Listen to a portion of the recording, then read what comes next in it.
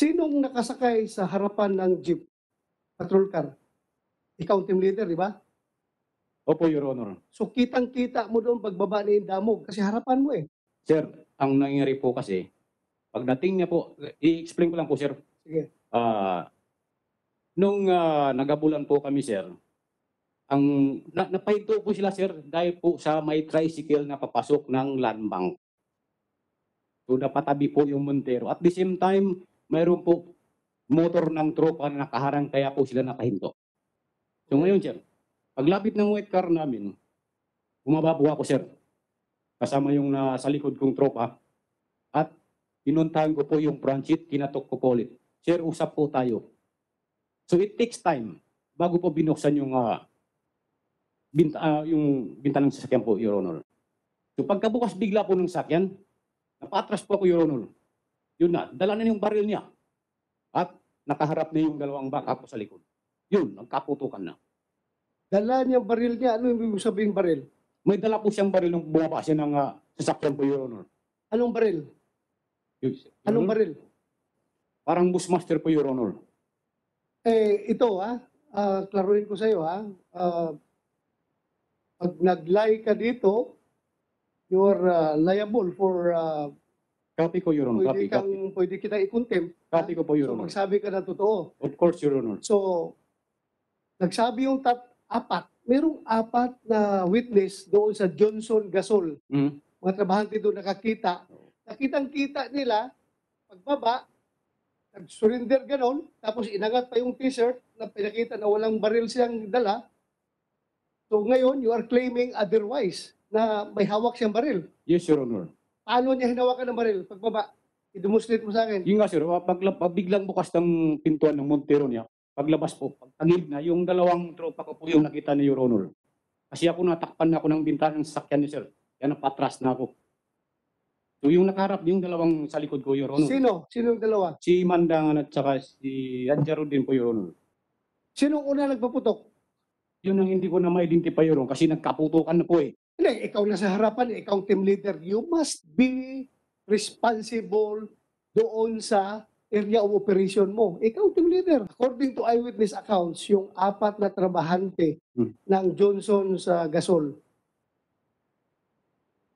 Si Mandangan, sino Mandangan dito? Ikaw yung naka-t-shirt ng puti. Ikaw yung taga PDEO. Okay. Ang unang lumapit doon kay Indamog. Nakagano si Indamog, hindi niya binaril si Indamog. Dumiritso siya doon sa pintuan ng backseat ng ah, Montero. Inopen daw niya.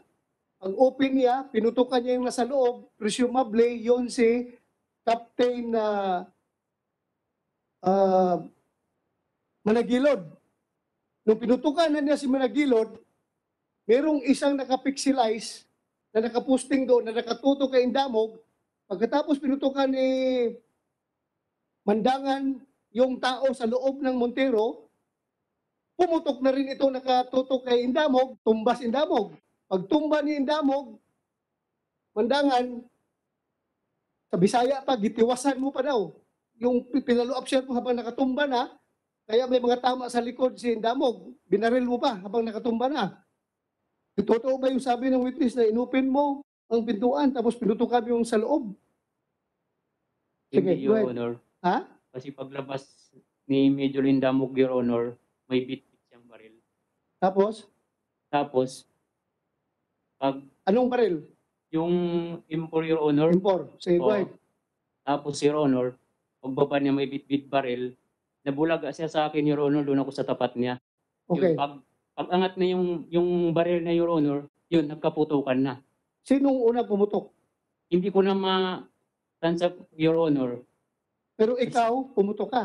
Oo, y- opo, Your Honor. Sinong pinutukan mo? Si, si Major Lindamog, Your Honor. Major Indamog. So, ibig sabihin, ang pinakaunang putok, umama kay Major Indamog as far as you're concerned. Siya ang unang binaril ninyo. Hindi yung nasa loob ng Montero. Your Honor, hindi ko na ma kung sino ang nakauna, nag, nakauna nagpaputok sa amin, Your Honor. Pero ikaw unang pumutok. Kan bulaga mo mo kaya sa Major Indamog, paglabas may dalang baril, nasa, sa, nasa harapan ka na o nasa gilid ka, harapan. Saan ang position mo?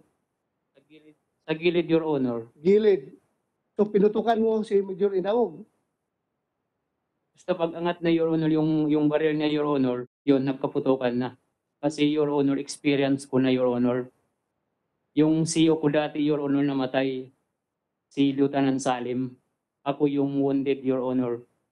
Kaya, yun, yun, yun lang, Honor. Isa lang ang buhay ko.